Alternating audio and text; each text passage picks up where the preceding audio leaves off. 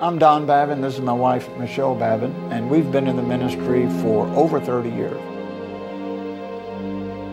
God's called us to work with the Maasai tribe of East Africa, and they have the largest land mass of any of the 42 tribes in Kenya.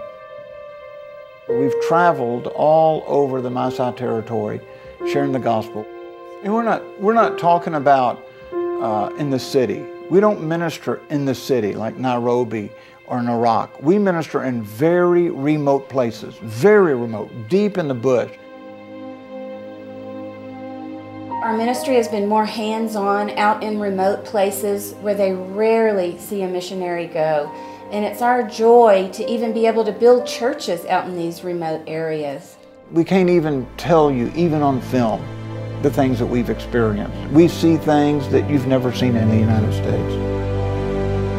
Many people are starving to death. Families are dying from starvation.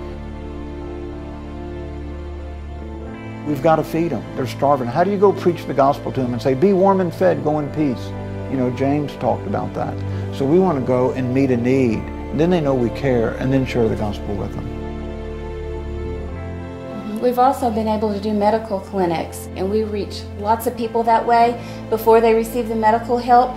Don gives a brief invitation and explains the plan of salvation and we see many, many souls saved at these medical clinics all of the professions of faith are first-time professions of faith.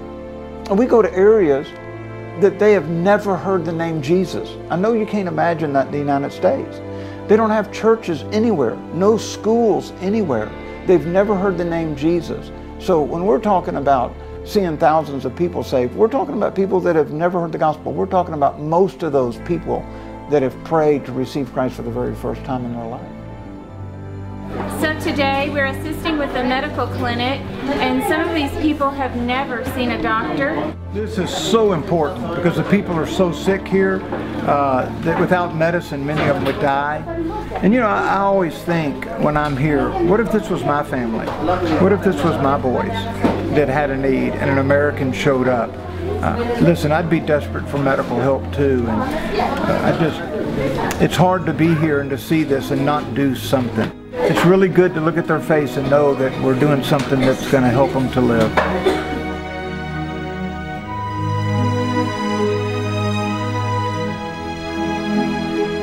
I'm raising up 12 leaders. I want a disciple uh, that really is hungry for God, and we're going to spread it out throughout the Maasai territory. And that way I'll work with those 12 leaders, and those 12 leaders will get 12 leaders, and we can multiply that to reach the entire Maasai tribe.